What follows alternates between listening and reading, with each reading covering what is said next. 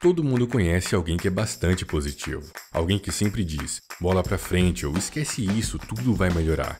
Geralmente, com a frase positividade sempre no status das redes sociais. A positividade é geralmente bem vista e pregada quase como uma religião.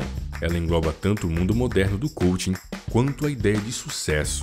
Mas, como diz a famosa frase, tudo em excesso faz mal, até a positividade pode ser tóxica e você vai perceber como é comum esse comportamento. Existem pessoas que acreditam que ignorando sentimentos ruins, traumas e problemas, você vive melhor. É quase que como jogar para debaixo do tapete tudo aquilo que a incomoda e a faz sofrer, com a ideia de que se eu não falar disso, eu não sofro mais. Então, posando de vencedor e desprezando todos os problemas, eles ficam para trás e são apagados ou esquecidos. Mas isso é um grande equívoco. A ideia de que ignorar os problemas como uma espécie de anestesia e que isso seria a solução para seguir em frente na vida, na verdade, cria como consequência uma realidade abstrata que nos confunde e nos impede de amadurecer. Pois fugir do contato com o sofrimento, seja ele qual for, torna o indivíduo frágil, e todas essas questões problemáticas que foram ignoradas vão se ancorando, fazendo peso e dificultando a vida. Os problemas só ficam para trás quando são resolvidos, e o sofrimento é um processo que precisa ser vivido e incorporado ao ser, o que o deixa mais forte. A busca incessante pela felicidade deturpou muito do que seria a real ideia, tanto do autoconhecimento quanto da própria felicidade, pois a ideia de felicidade ficou atrelada à conquista de status e bens materiais, e o autoconhecimento foi suprimido, pois esse processo gera sofrimento, e o sofrer na ideia moderna está ligado ao fracasso. Só que o sofrimento é justamente um dos mecanismos da evolução do eu. Ele te leva à reflexão, ao reconhecimento e ao silêncio.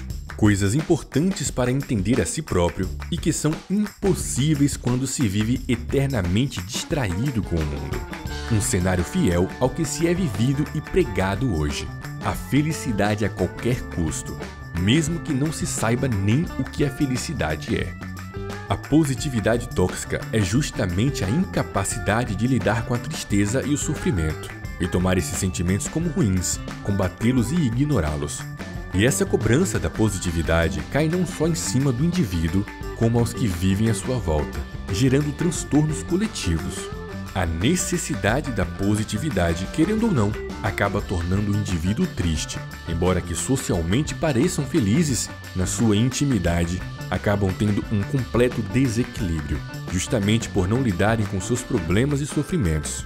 Pois, por mais que a gente tente virar as costas para problemas e situações que nos machucam, elas continuarão ali, se alimentando e crescendo, a ponto de um dia ficarem tão grandes que não possam mais ser ignorados e sejam bem mais difíceis de se lidar.